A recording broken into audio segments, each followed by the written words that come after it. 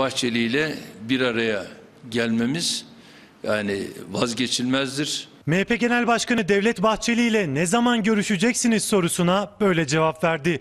Sonra da AK Parti ve MHP arasındaki ittifak görüşmeleri için çarpıcı bir uyarıda bulundu. Bazıları rahat durmaz, durmadan karıştırmanın gayreti içerisine girer. Cumhurbaşkanı Recep Tayyip Erdoğan 6 günlük Güney Amerika ziyaretini tamamladı. Ayağının tozuyla basın mensuplarının karşısına geçti. Arjantin, Paraguay ve Venezuela'ya gerçekleştirdiği ziyaretleri değerlendirdi.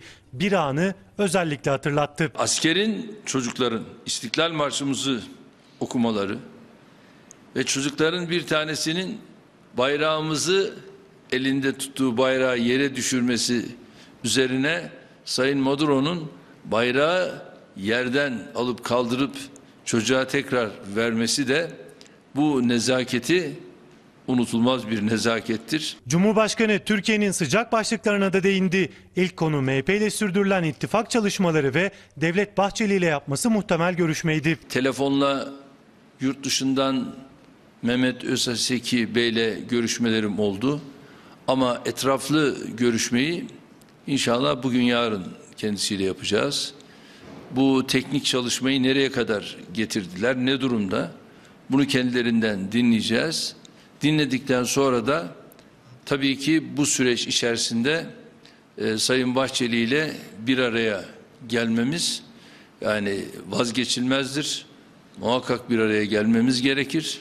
Çünkü biliyorsunuz e, bazıları rahat durmaz, durmadan karıştırmanın gayreti içerisine girer.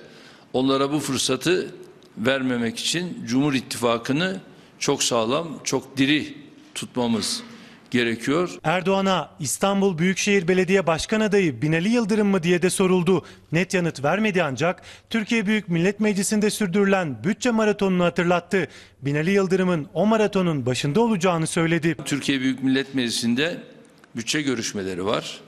Tabii ki bu bütçe görüşmelerini meclis başkanımızın yönetmesinden daha doğal, daha tabii bir şey olamaz.